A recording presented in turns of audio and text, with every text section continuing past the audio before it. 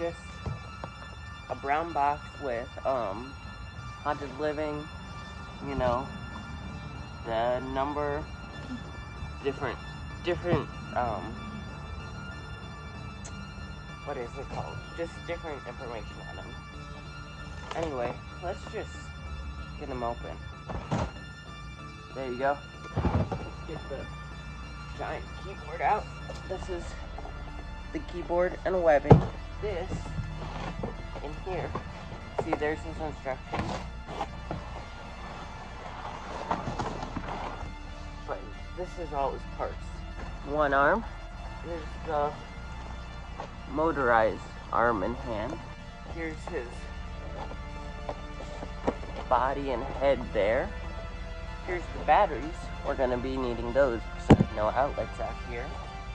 Here's his control box, some leg pulls, and his adapter. The clothes for the keyboard, I assume. The kind of back piece. Here's his waist piece and what holds the keyboard up. The base. Let's unbox this keyboard. And webbing. And I have a real keyboard, actually. So, stick around if you want to see comparison between this keyboard and that one. Okay, this is, this is nice. This is a really realistic looking keyboard. Can't wait to get that. Open out the setup. Okay, so now let's begin the setup. So you take the base, the there's a sticker that labels it that says front. So first, you take these, the sound box, the poles with like the sound box and stuff. Take this pole, connect E to E, snap it on. C to no. A to A. snap lock it on. And the one with the sound box, B to B. Next you take this waist piece, hip piece, and stick it on D to D and C to C. You're supposed to take this piece. There we go. Then you take this piece and slide it on the front here. And then you take this piece of fabric that was in our separate bag. You find the hook on it. And you hook it on. Next we attach the main body here. We just snap lock it on top. And then wire some wires. Oh, now that you have the chance. And then you take the arms and you just feed it through the sleeve. Then you take the sleeve. Oh, make sure to feed the wire for the arm. And here's the other arm, and you're just gonna do the same exact thing. Next, what you're gonna do is take this piece and it just hooks into the back. There'll be matching colors so you can see exactly where. There we go. And then I think the last thing to do is take your keyboard and there's going to be these four holes and they're going to go in each one of the pegs on the stand. And in case there's any confusion, there's a label for front and back.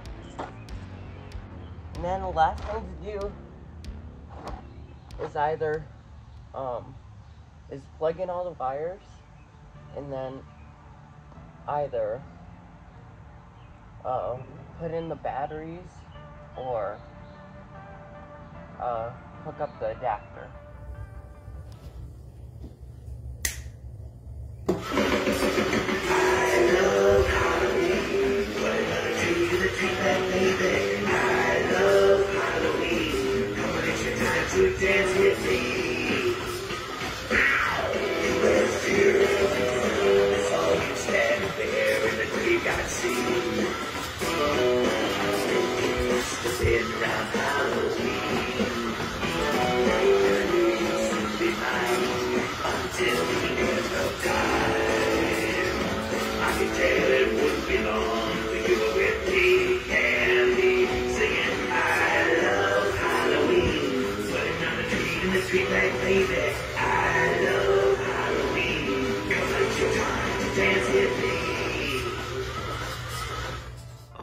It is now the next day, and I've had this guy for a little bit, and I think I'm ready to do my review section.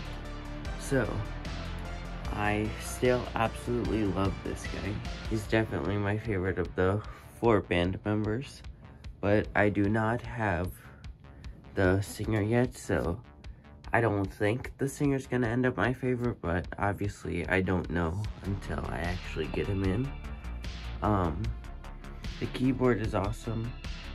At the end, I'll do a comparison between this and a real keyboard. So stay tuned if you want to see that. But it's really, his cloth is really nice and high quality. He has creepy cloth. His face. I absolutely love the purple eyes, the hinged jaw. Now they tried to make it quiet by adding some foam here. But what they should have done is added it to the front since I think that's where it hits. So, because you can hear in his demo a lot of clacking and like clicking from the jaw closing. Um, but his hands, now something kind of weird is they're like fleshy Whereas if you look at the guitarist, uh, for example, they're just skeleton hands on both the guitarist and the drummer. So, I don't know what caused them to make that design choice, but they still do look pretty good. Um, the spider webbing is just kind of like a cotton or something. It's nice. I think it adds to him overall. Um, there's underneath the webbing little skulls on either side with LED eyes. Um, these are not actual individual keys, it's just, there's like a painted on line. Um, it does get kind of messy at the end here, which I would have preferred not to see, but it's not terrible. And then also, just in shipping, my keyboard got a little banged up, unfortunately. So, yeah, I like that it's red and black with silver accents, like on the skulls and here and stuff. And overall, I definitely do recommend this character. Now, for the price, I think definitely his arm, his other arm, this arm should have moved. Um, and then also, why are these guys like the only one, only props of Lowe's lineup to not have weatherproof, like the weatherproof control box. I would have loved to see these guys be, have the ability to be out in the rain and get wet. Like, whoever decided that, like Lowe's or Tekky, I would have preferred to see them be waterproof.